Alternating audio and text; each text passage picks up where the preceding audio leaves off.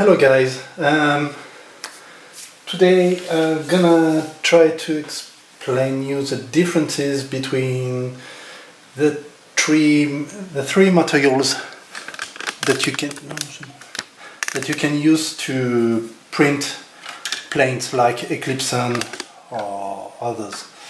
Um, I print the same part, the same part with PLA, lightweight PLA, either by uh, ColorFabb or eSUN. And this one is hard to find. For now, I only find it on uh, Amazon US. It's a Polymaker Polylite lightweight PLA. I explain the difference. Um, everyone knows the PLA, ColorFabb and eSUN, ColorFabb then eSUN made lightweight PLA. It's a PLA that includes some uh, some particles that when you hit them uh, make some gases. So this way, according to the temperature, you get a material that will expand like uh, like foam. It's foamy, and the result is that you can have something really really lighter.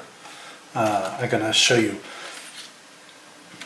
Um, quite difficult to print because you have to set the correct uh, mix of temperature and flow uh, but you can go down uh, half the weight of the PLA uh, for the same same part. This one is a little bit different so it's Polymaker and instead of having a PLA with a particle that will expand to temperature this one is already formed it's already in a foam uh, uh, texture, etc. And so you print just like regular PLA.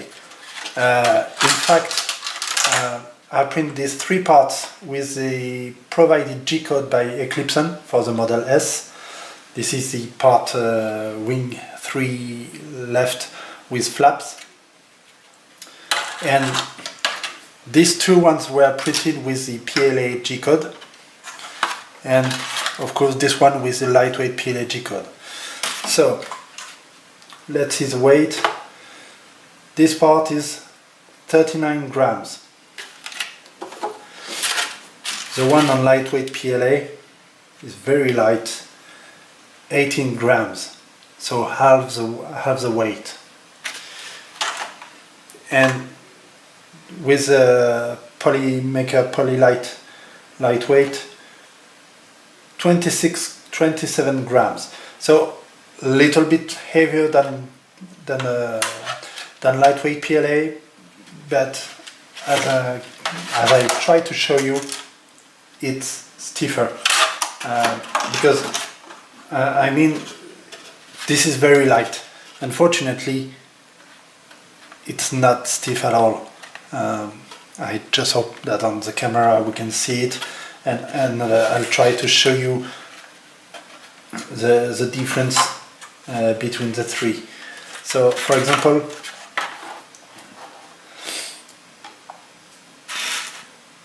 if I go with a PLA and if I apply something to deform it just like a I have to go, yeah, maybe 800 grams or 1000 grams of, of force to deform it. If I do the same with lightweight PLA, for the same deformation, unfortunately it's 300 grams, 3 400 grams. And with Polylite Polymaker Polylite lightweight PLA with the same deformation. I think it's more five five to six hundred grams. So it's it's really stiffer than the lightweight. A little bit heavier but I, I think uh, I think it's a good choice for building the planes because it's a good mix between the PLA, which is stiff, robust, and the lightweight PLA. Uh, I mean, I don't have the calculation, but this one is 50% of the PLA. This one is what? Maybe 60% uh, at maximum of the weight. So it, it's, uh, I think it's, uh, it's a good choice. Anyway, thank you and see you soon. Bye.